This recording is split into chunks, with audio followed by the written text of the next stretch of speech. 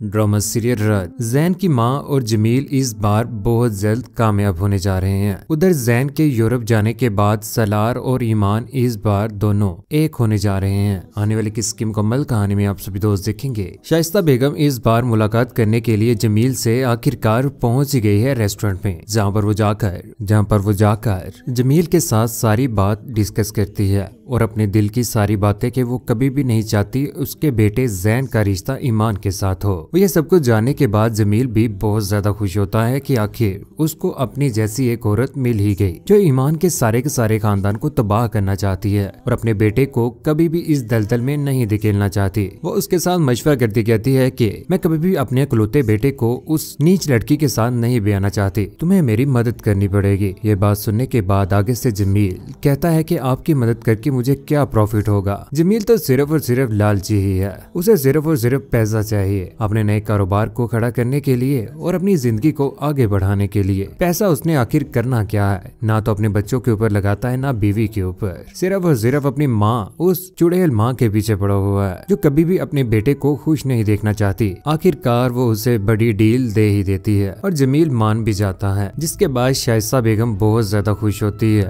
और कहती है कि, मैं एक मौका दे रही हूँ अपने दिल की बड़ास निकालने का। इस बार ना, अपने बेटे को मैं कहीं भेज ही दूँगी। दूसरी जानिब शाइस्ता बेगम आखिरकार इस बार मीठी चूरी बन ही गई। ईमान के घर वालों को अपने घर में इनवाइट कर लेती है, जहाँ पर जोया और जोया का शोहर और आलिम साहिब भी इनवाइटेड होते हैं। यहाँ पर उनकी अच्छे तरीके से खातर तवाजा की जाती है, मुँह मीठा करवाया जाता है। ये सारा का सारा माजरा यहाँ पर जैन अपने मोबाइल के ऊपर भी रिकॉर्ड करता है, तस्वीर बना लेता है उन सब की और वो तस्वीर ईमान को भी व्हाट्सअप कर देता है। ईमान वो तस्वीर देखने के बाद बहुत ज़्यादा खुश होती है की आखिर उसके घर वालों को और उनके बहनोई को वहाँ पर अच्छी खासी इज़्ज़त दी जा रही है। ये सब कुछ देखने के बाद ईमान को और भी ज़्यादा मोहब्बत हो जाती है जैन के साथ। यहाँ पर जैन की माँ मुँह मीठा करवा रही होती है, लेकिन इस बार शाइस्ता बेगम ने फैसला कर लिया है कि वो अपने बेटे को जल्द अज जल्द यूरोप भेज देगी। लेकिन यहाँ पर बानो आपा बोल पड़ती है, कहती है कि जैन के जाने से पहले ना क्यों ना इनका निकाह कर दिया जाए। ये बात सुनने के बाद यहाँ पर शाइस्ता बेगम हक्की बक्की हैरान रह जाती है। शाइस्ता बेगम इस बात को आखिरकार टाल ही देती है कि निकाह निकाह भी हो ही जाएगा,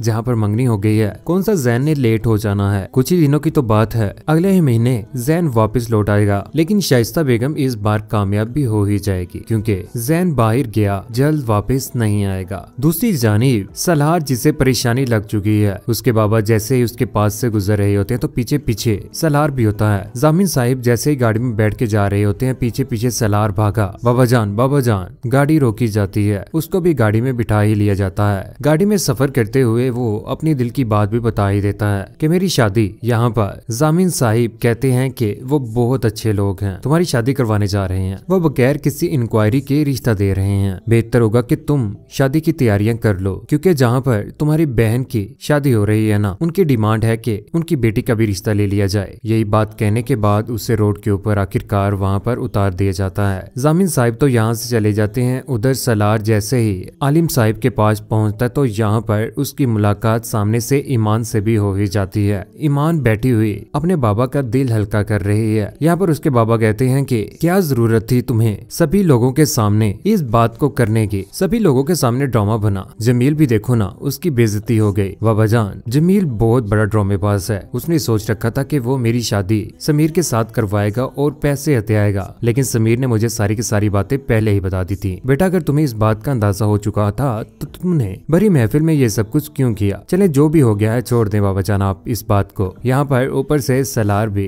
पहुँच ही जाता है। सलार को यहाँ पर आया देख कर ईमान हैरान रह जाती है। यहाँ से आलिम साहिब आखिरकार चले ही जाते हैं। सलार सारी की सारी बातें यहाँ पर ईमान को भी बता ही देता है। कहता है की, मेरे घर वाले बिना शादी करने जा रहे हैं और जहाँ पर मेरी शादी हो रही है, उन्होंने मुझे बहुत कुछ देने की ख्वाहिश रखी है। पीछे से ईमान बोल पड़ते कहती है कि, जिस लड़की के घर वाले आपको इतना सब कुछ दे रहे हैं। उस लड़की से भी पूछा है कि वो इस शादी से खुश भी है कि नहीं? यहाँ पर सलार बोल पड़ता है, कहता है कि, सब हमेशा लड़की की खुशी के बारे में ही क्यों पूछते हैं? कोई कभी लड़के से क्यों नहीं पूछता कि वो खुश भी है कि नहीं? उसके बाद सुनने के बाद यहाँ पर ईमान हकी बक्की रह जाती है, क्योंकि अमान को इस बात का अंदाज़ा हो चुका है कि सलार उसके साथ वाकई मोहब्बत करता है और उसके बगैर नहीं जी सकता, क्योंकि जो इंसान उसकी तस्वीर को आए रोज नई से नई शेप देकर स्केच बना रहा होता है, आखिर वो कितनी मोहब्बत कर सकता है? यहाँ पर ईमान सोचों में गुम हो जाती है। दूसरी जानी, जब इस बात का अंदाज़ा ईमान को होता है कि आउट ऑफ़ कंट्री जा रहा है, दोबारा से जैन कुछ ही दिन के लिए, ये बात सुनने के बाद वो बहुत ज़्यादा परेशान हो जाती है। आखिरकार साहिल के किनारे वो दोनों एक दूसरे के साथ मुलाकात करने के लिए पहुँच जाते हैं। यहाँ पर जैन ईमान को बहुत ज़्यादा हौसला देता है और कहता है कि मैं जल्द वापस आ जाऊँगा और तुम्हें कभी भी छोड़कर नहीं जाऊँगा। मैंने सोचा है कि जब मैं इस बार वापस आऊँ ना, सारा समेट कर अपना बिज़नेस तो यहाँ पर ही रहूँ। तुम्हारे साथ ही